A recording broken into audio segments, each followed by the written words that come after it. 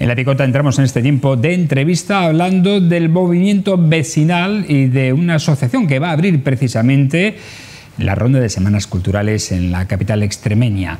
Hablamos de la Asociación de Vecinos El Prado, que desde hace ocho años no celebra su semana cultural y que curiosamente cuando la nueva junta directiva se ha puesto manos a la obra para poder celebrarla, se han dado cuenta que además en este año 2024 celebran sus bodas de plata, 25 años de Semana Cultural, de existencia de la Asociación de Vecinos El Prado de Mérida. Hoy tenemos con nosotros a dos de sus representantes, a su presidente, Zalo Lesón. ¿Cómo está? Buenas noches, bienvenido, compañero, ¿qué tal? ¿Qué tal, Frau? Encantado, como siempre, de estar en esta casa.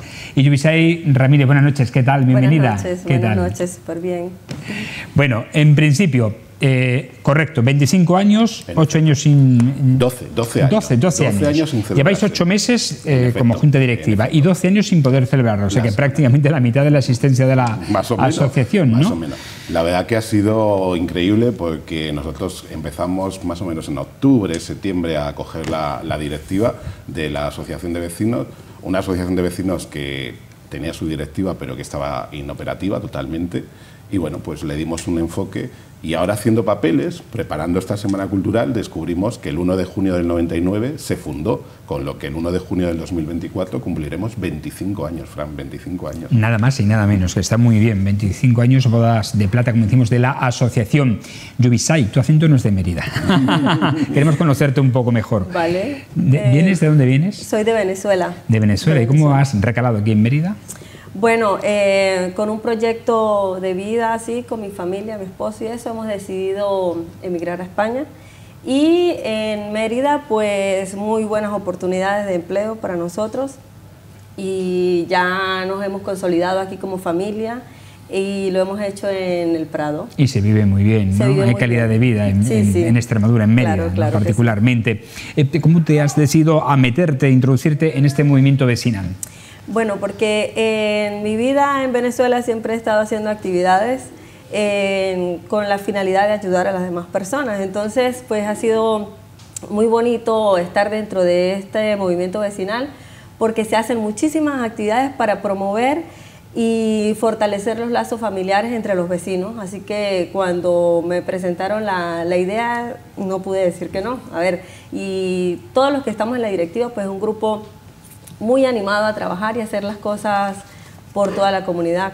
Ha sido difícil, Zalo, conformar el equipo de esta junta directiva para revitalizar de nuevo la asociación. Pues mira, eh, empezamos una directiva cuando lo cogimos en octubre con dos personas del anterior. Luego, en más o menos en noviembre, fue cuando tuvimos que remodelarla un poco porque estas dos personas no querían continuar. Y fue cuando entró Yubisai, cuando entró también eh, Mercedes, otra compañera, y Juanma. Ahora somos seis porque ha habido un chico que, que lo ha tenido que dejar. Somos seis personas y la verdad que, Fran, yo estoy encantado con el equipo que conformamos. Hemos hecho muchísimas actividades desde octubre, con Halloween, Navidades, Carnavales, y te tengo que decir que son una gente súper trabajadora y súper entregados por el Prado. Bueno, hay que decir que efectivamente eh, habéis llegado y habéis eh, un poco revolucionado el barrio porque habéis comenzado a hacer actividades directamente para, para los vecinos, ¿verdad? Sí, nada más llegar, lo primero que hicimos fue Halloween, que coincidía esa época. Fue un éxito, un éxito, porque además nuestra barriada de Afran, lo bueno que tiene, que tenemos muchísimos niños, mucha gente joven y muchos Qué bien. niños, muchísimos. Es un barrio joven. Muy joven, muy joven, muy desconocido, porque la gente, bueno, piensa que, bueno, allí no vive nadie o que estamos ahí al estar un poco alejados, pero últimamente somos 4.500 vecinos ahora mismo allí. Ahora hay una urbanización que en breve se va a abrir, que ya han vendido parte de la urbanización y ahí van 400 familias más. 400 familias que supone casi 1.000 personas más. O sea que dentro de nada vamos a ser una de las barriadas más grandes de Mérida. Sí, totalmente, porque es una zona de expansión. Sí, sí, totalmente, totalmente. de residencial de, de la capital extremeña. Eh, es, es- es cierto, es una zona zo- poco conocida. muy ¿no? poco conocida, ¿eh? Quizá porque está como alejada, es un apéndice Ahí ahí de, de la zona del otro lado del río, ¿no? Y que- Totalmente. Pero además una zona desconocida y, por cierto, muy bonita para los que vivimos Sí, ahí. además es nueva. de muchas zonas verdes, tenemos muchísimas muchísimas zonas verdes, una calidad de vida bastante alta para lo que es y lo que sí que es cierto que carecemos de muchos servicios. ¿Y cuáles son esos servicios? pues mira, eh, ahora poco a poco van abriendo algunos comercios allí, ¿no? Hemos conseguido que se abra un supermercado, una franquicia de un supermercado, también... Que no había antes. Eh, había una tienda de estas más pequeñitas y ahora ya es un supermercado más grande. Eh, también hemos hay una, una clínica de, bueno, incluye varias cosas. Eh, han abierto dos bares, no teníamos ninguno, han abierto dos bares. Eso es fundamental para anclar la población al lugar, ¿eh? al territorio. Y poco a poco se van instalando ahí tiendas de deporte, se van instalando. En esta nueva urbanización que van a abrir eh, va a haber locales comerciales y por lo que tenemos eh, entendido y además eh, una reunión que tuvimos con el alcalde, él se ha comprometido a negociar para que haya una farmacia. Tenemos derecho a tener una farmacia, hay una licencia además que creo que está concedida. Sí, sí cierto. Y bueno, de hace pues, años además. De hace años, de hace años. Lo que pasa es que no se había hecho efectivo y sí que es una cosa que necesitamos. Y luego, evidentemente, bueno, los vecinos últimamente nos decían, al tener tantos niños, con el paso del tiempo, en la reunión del alcalde se lo planteamos, eh, llegaremos a pedir ahí un, colegio. porque hay muchísimos niños que se tienen que desplazar fuera del Prado. Mm. ¿Hay, ¿Hay alguna necesidad más que mm, vosotros demandéis para las familias, para el día a día? Bueno, em, con la, hemos hecho algunas peticiones en el ayuntamiento y de las cuales ya estamos viendo mm. resultados, así que em, en reuniones con todos los vecinos casi todo lo que hemos pedido pues se está, se está haciendo, que lleva su tiempo porque todo tiene un tiempo para, para realizar las actividades eh, programadas por el ayuntamiento, pero lo que sí estamos viendo es que se están dando los resultados de las peticiones que hemos realizado. ¿Cómo está comunicada el Prado en cuanto a transportes públicos, por ejemplo? Bueno, allí hemos hecho una petición a ver si podrían em, darnos otro, otro transporte, porque tenemos solamente una ruta que es el C2, el que pasa por allí. Entonces, una pues, parada solamente? Eh, tenemos dos paradas, y la de la Guardia Civil. Lo que pasa es que es una frecuencia cada media hora, los fines de semana es cada hora y se queda corto. Por ejemplo, por las mañanas los chavales que van al colegio, al instituto, llenan el autobús. Y cuando hay cualquier problema por el centro y tal, nos quedamos sin línea. Y entonces nos quedamos incomunicados muchísimos vecinos.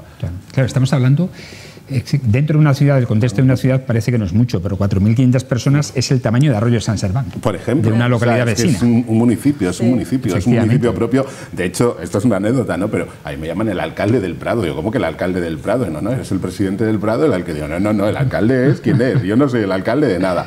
Pero sí que es cierto que somos una pequeña ciudad. Claro, claro, claro. Sí, es que... y, una ciudad eh, emergente en cuanto a familias eh, precisamente jóvenes, muchos niños, es decir, que tendrán muchas, muchas necesidades. Creo que de parques no, ¿no? Está bien la cosa. De parques estamos bien. Eh, una de las cosas súper bonitas y encantadoras que tiene el Prado y su gente es que, a ver, yo siendo de Venezuela, siendo extranjera, me he sentido como en mi casa, ¿sabes? Porque la gente es muy acogedora eh, todas las actividades que hemos hecho y vive gente de muchas partes del mundo allí en nuestra comunidad y la integración ha sido bonita y ha sido fácil, ¿sabes? Entonces esa parte es bonita también de las personas que vivimos allí.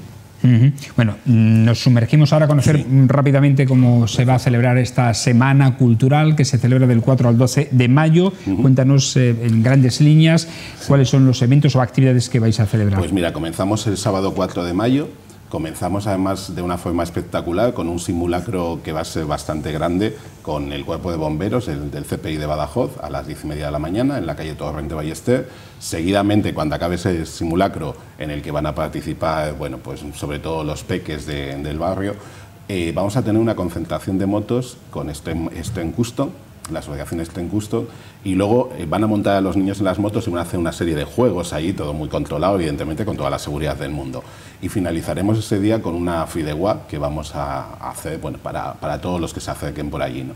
Eh, después nos vamos al día 9 de mayo, jueves, que eh, como nosotros no tenemos muchas personas mayores ahí, lo que tenemos es más gente joven, como hemos dicho, nos vamos a ir a la residencia del Prado de mayores y vamos a hacer ahí una tarde. de muchas. muchas. Y vamos a hacer una tarde de actividades. Por cierto, que ayer nos contó la delegada de Servicios Sociales, Caterina Larcón, que asistió al cumpleaños de otra centenaria más, de una abuela centenaria más en Mérida. Tenemos en Mérida, que tenemos varias, ¿eh? Oh, varias. Este año nos contaban que en Mérida se van a cumplir 100 años 11 personas. 11 personas. Bueno, ojalá lleguemos ahí. sí, sí. Pues ya digo, llegaremos ahí a la residencia de mayores y vamos a hacer actividades con ellos y luego tenemos una sorpresa que no la hemos podido incluir en la revista y en la programación, pero la comentamos, que es que Paqui La Caracola, esta artista extremeña y emeritense, eh, va a hacer un concierto allí para todos los mayores, ese jueves 9 de mayo. ¿En qué zona? ¿En dónde? En la residencia del Prado, ese día. Y luego ya, el viernes 10 de mayo comenzamos lo grande. 10, 11 y 12 de mayo son los días grandes, digamos, de la Semana de Cultura. El 10 de mayo empezamos con el pregón, que este año la pregonera va a ser una compañera nuestra, Inma Pineda, sí, Cero. Después la escuela de Yolanda Burgos va a hacer ahí una actuación flamenca y tenemos después el vino de honor para las autoridades, socios, patrocinadores y terminaremos la noche con un DJ, un DJ que va allí a amenizar un poco la, la noche. El sábado 11 lo hemos decidido dedicar al Día de las Familias. Queremos que las familias completas participen en las actividades, no solo los socios, sino cualquier familia que se acerque al Prado. Vamos a tener a las diez y media de la mañana una exhibición de la unidad canina de la policía local, que nos van a hacer una demostración muy bonita. Después muy interesantes. Muy interesante. Están haciendo por los centros escolares y los niños disfrutan con ella muchísimo, tremendamente. Muchísimo, ¿eh? Además han ofrecido de manera, bueno, totalmente altruista para hacerlo y quieren exponer allí todo. Después eh, vamos a tener eh, juegos infantiles, un concurso de dibujo al aire libre patrocinado por la Federación de Asociaciones Vecinales, un concurso también que en Navidad fue un éxito de tortillas y repostería, con unos postres Frank que parecían sacados del mejor programa de televisión, porque era increíble lo que hicieron. Y luego hemos incluido una novedad. Todas las semanas culturales tiene su vino de honor, el día de la inauguración, pues nosotros el sábado vamos a tener también lo que hemos llamado el aperitivo de honor. El aperitivo de honor para que nuestros socios podamos pasar ahí una, una forma de convivir esa tarde. Por la tarde muchos juegos populares, y por la noche vamos a tener una fiesta flamenca que la hemos llamado Flor de Primavera con el cantante Eusebio Oliva, eh, algunos guitarristas además muy conocidos de Extremadura que van a estar allí y tenemos una sorpresa ahí preparada que todavía no podemos desvelar, pero una sorpresa previa a ese concierto. Y después también un DJ hasta... ¿Algún homenaje? Eh, algo así. Algo así parecido, algo así, con un grupo de mayores y una cosa muy bonita. Muy bien, muy bien. Y terminamos el domingo. El domingo 12 terminamos por la mañana, tenemos un torneo de petanca, después un pasacalles con los nuevos cariocas, una batucada y después Julita Báez, la escuela de Julita Báez, que nos va a, a deleitar con su arte y con las niñas que bailan también. Y acabaremos con la entrega de premios y una paella popular. O sea que tenemos ahí una programación completita. Actividades muy completas para poder celebrar este 25 aniversario. Yo, yo no me resisto a preguntarte eh, qué te obligó, qué te hizo salir de tu país. Bueno, la situación, la situación social en este momento, pues todos conocen la realidad de Venezuela y pues lamentablemente tuvimos que salir y empezar desde cero aquí en España. ¿Pero tú allí ejercías la docencia? Sí. Trabajé en la universidad 10 años. Debe haber sido duro. Bueno. ¿Has dejado allí familia? Toda mi familia está en Venezuela, sí. Bueno, pero aquí te has encontrado con otra familia meritense nueva. Sí, sí, claro. Aquí en Mérida, la verdad es que me he sentido súper bien. De hecho, eh, con mi esposo y mis hijos, porque somos cuatro, eh, decidimos iniciar y consolidarnos aquí en Mérida porque es una ciudad tranquila y se vive súper bien. Mucha calidad de vida, como lo comentaba mi compañero Gonzalo. Además, Fran, te diré, perdona, que tengo dos mujeres migrantes en la directiva, Luisana y, y Yubi son mujeres que están totalmente integradas en la vida social de Mérida porque participan en todo. Vayas a la actividad que vayas, ahí están ellas con sus Sois unas romanas más. Vamos, ya se están preparando ahora para el Mérida también. O sea, y son súper trabajadoras. Yo estoy súper orgulloso y yo, como digo en la revista Mi Saluda, hemos constituido una familia más. En la directiva somos una familia más. De hecho, eh, este próximo fin de semana nos vamos todos a celebrar una jornada al campo, toda la directiva con las familias. Qué bien, Qué bien maravilloso. Pues no te voy a decir bienvenida porque ya eres emeritense romana, así que que trabajéis muy bien, que sigáis trabajando mucho y duro, porque es bueno que el movimiento vecinal siga pues labrando su camino para representar a los vecinos y para dar servicios que a lo mejor a pequeña escala pues desde el ayuntamiento mm, mm, no se llega, ¿no? Por, simplemente porque son muchos brazos los que hay que atender, mucha población y muchos barrios. Y el movimiento vecinal ha pasado su momento de crisis, pero creo que en estos momentos se está resurgiendo y eh, os deseo todo lo mejor. Así que trabajéis mucho y sobre todo que lo celebréis bien y lo paséis muy bien en esta Semana Cultural. Gracias, Yubisai. Gracias, gracias, Zalo. Muchas gracias, Fran, a ti y a Televisión Extremeña. Y a ustedes agradecerles como siempre su interés, su fidelidad y su atención. Mañana viernes no tenemos picotas y tendremos un reportaje. Eh, seguro que les va a interesar porque hemos asistido este jueves a la jornada de matemáticas en la calle, donde más de 2.700 alumnos de institutos de toda Extremadura han estado haciendo y realizando muy curiosas que tienen que ver con las matemáticas en el Parque de las Siete Sillas. Regresamos el lunes ya en formato habitual aquí en La Picota en Televisión Extremeña. Gracias, buenas noches y feliz fin de semana.